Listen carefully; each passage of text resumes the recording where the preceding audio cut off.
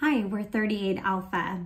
38 Alpha is a Latina veteran owned business providing services and support to small and medium sized businesses, government organizations, and nonprofit organizations. With over 20 years military and private sector experience, 38 Alpha thrives to be the liaison to success in allowing businesses and organizations to focus on their strengths and supporting them in their business gaps.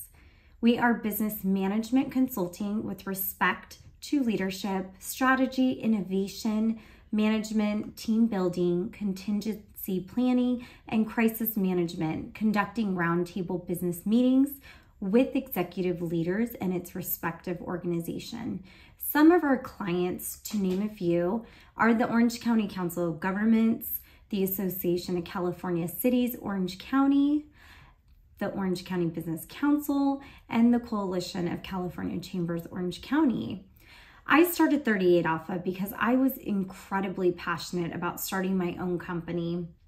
With the leadership skills instilled in me from the military, I found that I was more successful in running my own operation. The autonomy and purpose behind creating my own entity fulfilled me and fulfills me till this day in many ways versus the average eight to five position. I found that my skills were being called to action from the clients that I service now.